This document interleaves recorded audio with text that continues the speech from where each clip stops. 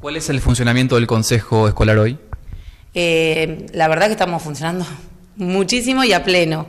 ¿sí? Estamos con el servicio alimentario, eh, que están funcionando en todas las escuelas, y en la EP3 y en la EP7, que están sin gas con la terminación de obra, se les agregó un listo consumo hasta que se reincorporen con gas.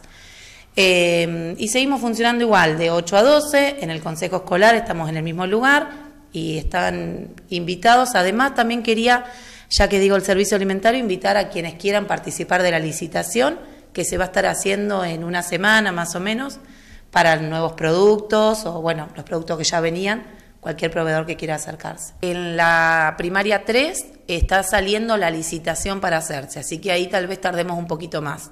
¿sí? más que nada por el tema administrativo que lleva que salga a licitar la obra.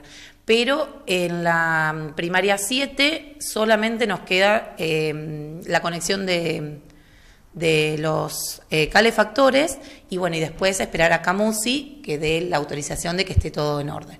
Así que la EP7 creemos que en un mes, creemos un poquito antes, ¿no? Pero pongámosle un mes para dar más seguridad, eh, puede llegar a estar lista.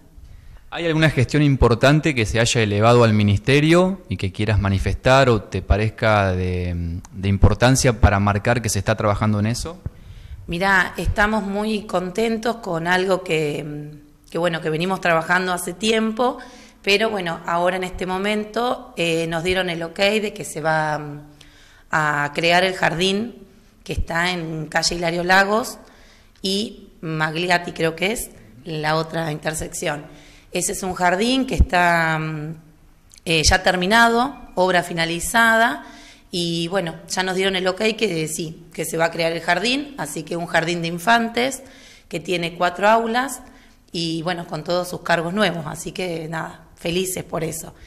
Y mm, con respecto a las obras eh, que sabemos que están sin terminar, seguimos gestionando cada vez que viajamos y cada vez que podemos acercarnos al, al ministro Em, gestionando para que se terminen, em, nos interesa mucho, ya que vamos a tener un jardín, que se termine alguna secundaria, a ver si podemos descentralizar un poco la secundaria de las primarias. Ese tema en particular lleva muchos años y ha tenido algún avance, tal vez momentos donde no se genera ningún otro tipo de avance en cuanto a lo que se está haciendo. ¿Es viable, lo ves posible que esas tres obras lleguen en algún momento a tener un trabajo eh, finalizado? Sí, sí, yo creo que sí, así, ya te digo, yo creo que es lo que más tiempo lleva, ¿sí? ¿Por qué? Porque, bueno, hubo, eh, estuvo judicializado y ahora tarda en la parte administrativa, que no, no, no conozco demasiado sobre el tema del legal, pero sí sé que, bueno, que lleva su, su tiempo. ¿Las tres pasaron a un orden administrativo? Sí, las tres.